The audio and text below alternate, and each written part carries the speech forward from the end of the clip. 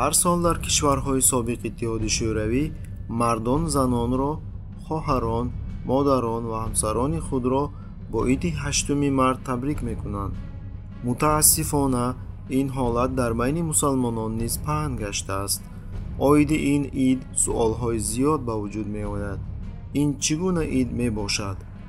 Оё ҷашнгирии чунин ид ба мусулмонон ҷоиз аст мо таърихи пайдошавии ин идро одатан бо клара цеткина вобаста мекунем ки бо ташкили гурӯҳи занони шӯришгар барои баробарҳуқуқӣ миёни мардону занон мубориза бурдааст гарчанде ташкили он дар як рӯз нашудааст вале як рӯзро муайян кардан лозим буд ки рӯзи мавлуди занони пролетариат ҳисобида шавад чунин сана бо таклифи аъзои кумитаи маркази партияи иҷтимоии демократӣ елена гринберг санаи 19 март муқаррар шудааст.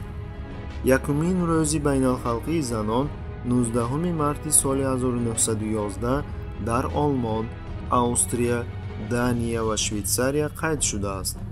Соли 1912 ин рӯз дар кишварҳои дар боло зикршуда санаи 12 май қайд шудааст соли 1913 бошад.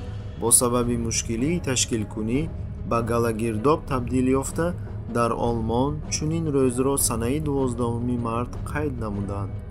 Дар австрия чехия маҷористон швейтсария ҳолланд бошад санаи 9 март қайд намуданд.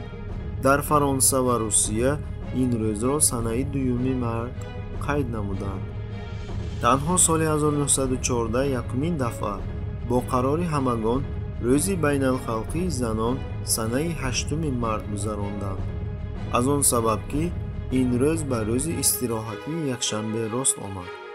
Аз он давр то ба имрӯз ин ид дар ин сана қарор ёфтааст.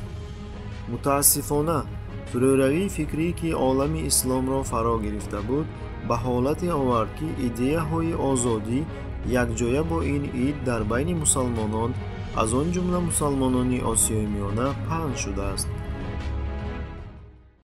Но нужно покончить с пережитками прошлого навсегда. Снимайте паранджу. Бино ба маълумотҳо дар замони шӯравӣ дар тоҷикистон ва ӯзбекистон бархе аз анон рӯймолҳояшонро санаи 8 март кашида худро соҳибистиқлол эълон намуданд. Почему вы молчите? Сегодня же ваш день 8 марта скажите же свое слово женщины. Дар тоҷикистон соли 2009 эътиборан бо ташаббуси раҳмон ин рӯз рӯзи модарон эълон шудааст. Ин рӯз дар тоҷикистон рӯзи истироҳатӣ боқӣ монда. Бо номи дигар номида шавад ҳам вале моҳият дигар нашудааст. Оё чунин идро ҷашн кардан ба мусалмонон ҷоиз мебошад? Аз гуфтаҳои боло аён мегардад ки пайдошавии ин ид на дар қуръон асту на дар суннат.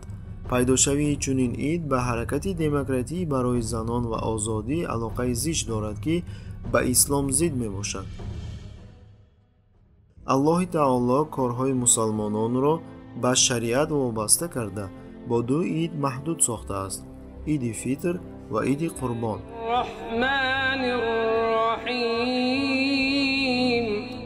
расулуллоҳ саллаллоҳу алайҳи васаллам фармуданд касе амалеро иҷро кунад ва ин амал хилофи амри мо бошад рад карда мешавад бинобар ин барои мардони уммати исломӣ ягон рӯзи муайян лозим нест ки ғамхории худро нисбати модарон хоҳарон ва занон изҳор намоянд. Муслима зан ҳар рӯзи худро бо ғамхорӣ аз тарафи шавҳар падар бародар писар ки дар хусуси ӯ ҷавобгаранд мегузаронад расулуллоҳ саллаллоҳу алайҳи васаллам фармуданд беҳтарин мардон аз умматам онҳое мебошанд ки нисбати ҳамсарашон муомилаи нек мекунанд. Ва беҳтарин занон аз умматам онҳое мебошанд ки нисбати мардони худ муомилаи нек доранд